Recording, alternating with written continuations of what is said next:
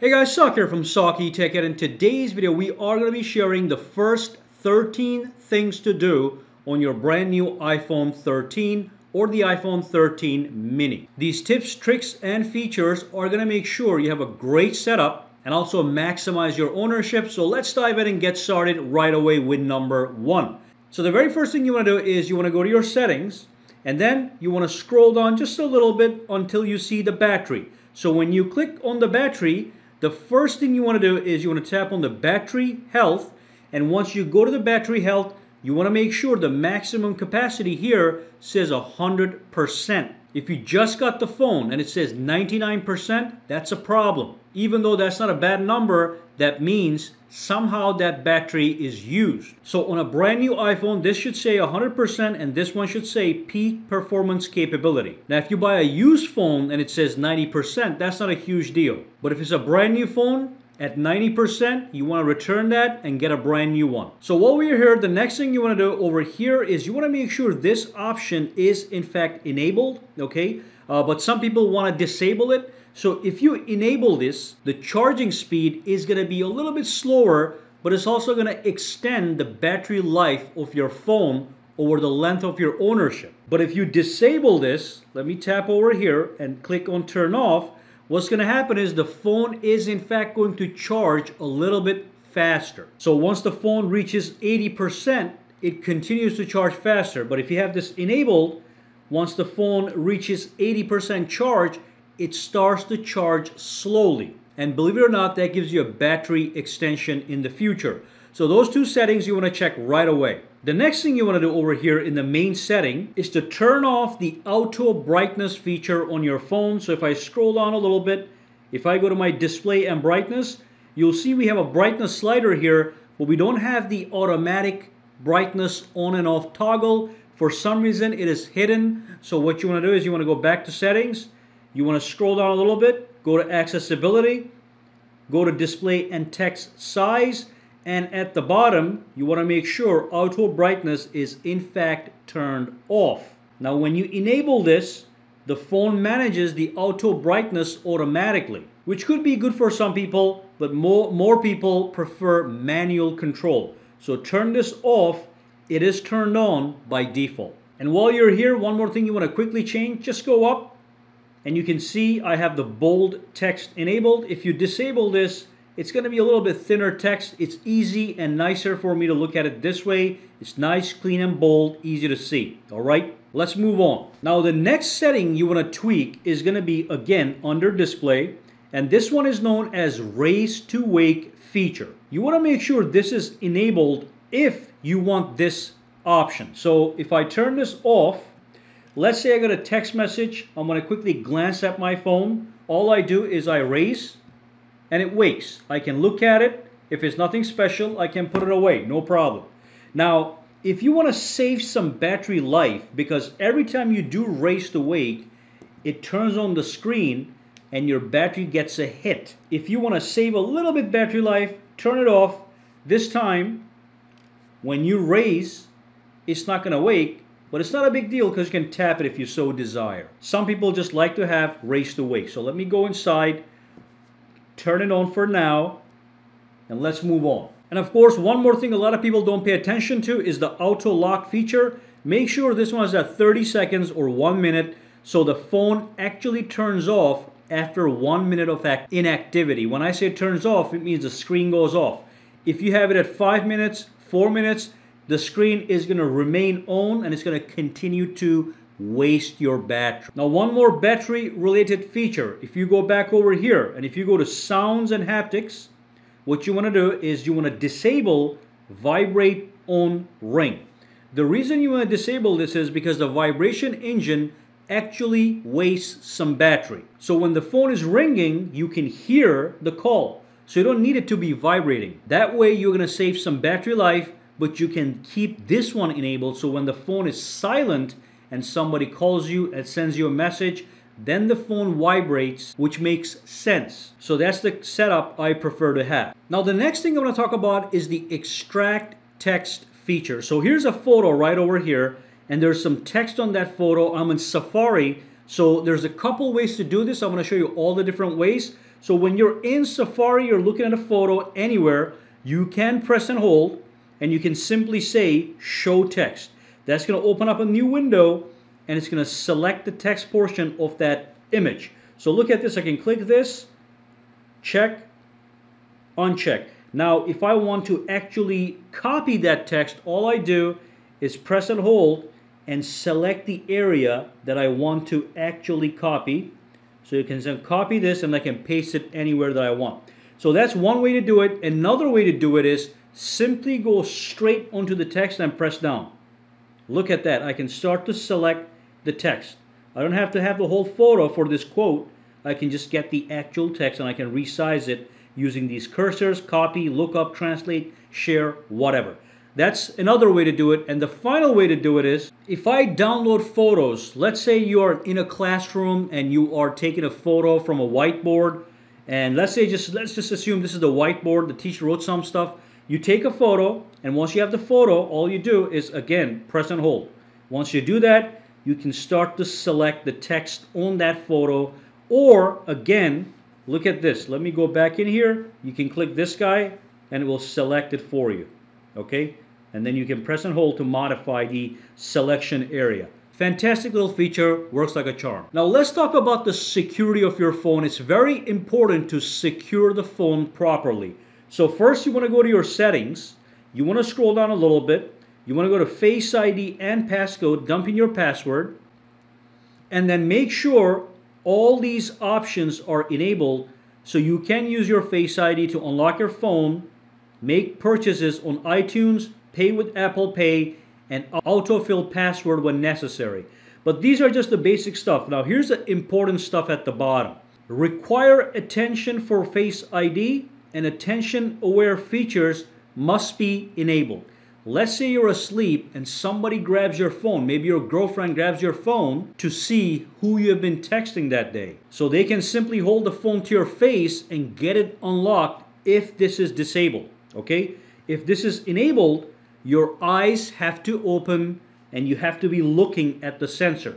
With this disabled, your eyes could be closed, you could be looking somewhere else, and somebody can unlock your phone using your face if you're taking a nap. So make sure these are enabled and also make sure you set up an alternate appearance. So maybe you wear a wig, maybe you wear sunglasses, maybe you wear a mask, uh, you can actually, for example, wear a mask and set an alternate appearance so the phone gets unlocked easier when you're on the go on the outside. And then we have something very important at the bottom right here. It says allow access when locked. So when the phone is locked right now, anybody can access all these features on your phone. Let me turn off the phone so you can see what I'm talking about. So if I'm right over here, if I had any notifications, they would appear right here. I can pull down the control center. I can make modifications to anything here which could mess up something in the house or with your phone. So look, I can modify my home settings. I can turn on and off my Bluetooth and all that stuff. You don't want to make sure those things are enabled.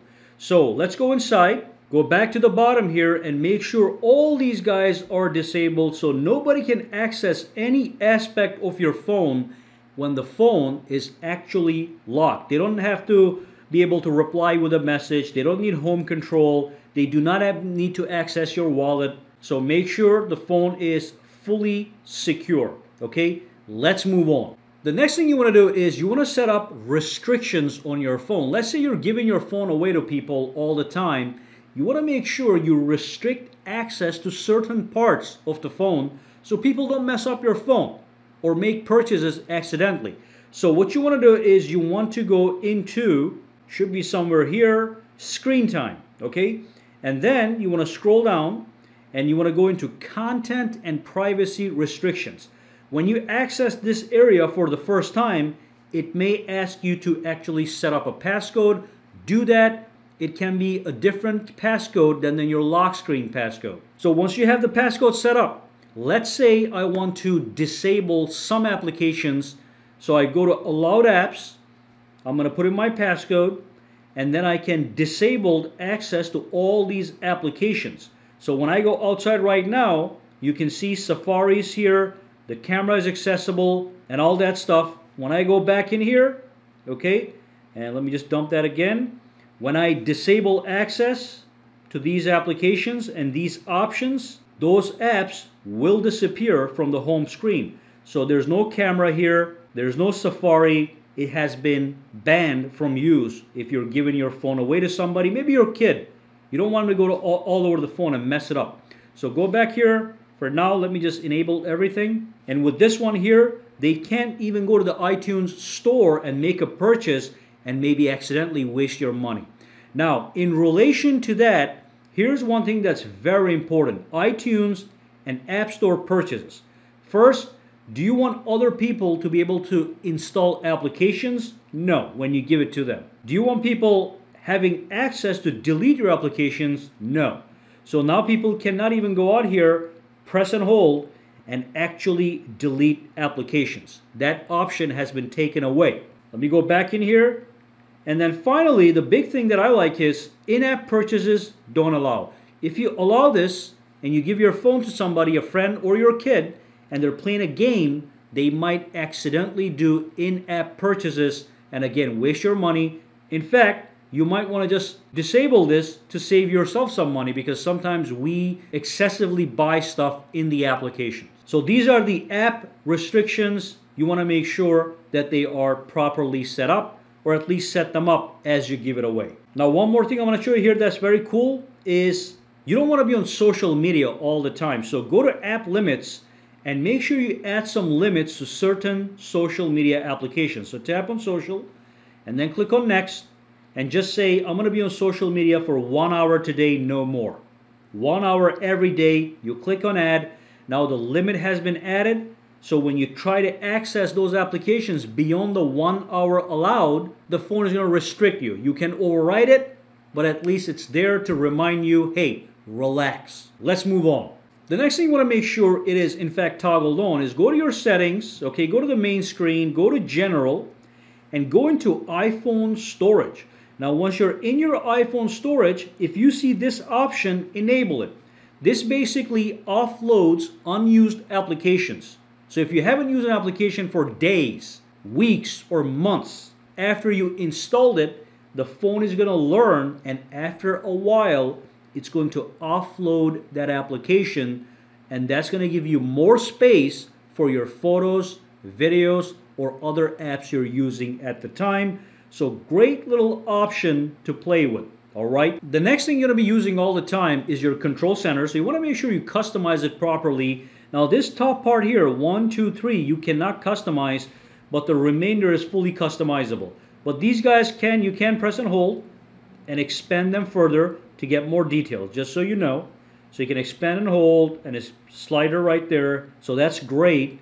You can access relevant settings. If you press a flashlight, you can change the intensity of that flashlight from here okay so that's that but let's customize this so you want to go to your settings and you want to go into control center you click it and if you want to add a control to your control center you just click plus here let's just add a bunch so you can see the difference okay now when I pull this down I've got many more toggles here so make sure you go in and add the toggle that you want and also if there's important toggles you're going to use all the time, you can grab that and you can put it to the top. Okay? To grab it, press the side and just put it at the top. And now look at this.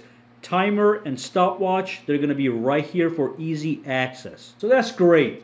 Now I'm assuming you're going to be using your camera a lot. So when you do launch the camera, you can switch between modes from here, but you cannot access the camera settings from the camera application. So you do want to go to your settings, okay, to the main screen, scroll down all the way to the camera, and your camera settings and configurations are going to be here. Make some basic modifications, go to record video, make sure you have it at 1080p at 60, that's the standard, takes less space and it's very smooth video. If you want to do 4K, you can choose it from here. You can enable or disable HDR video, which I recommend most people simply disable.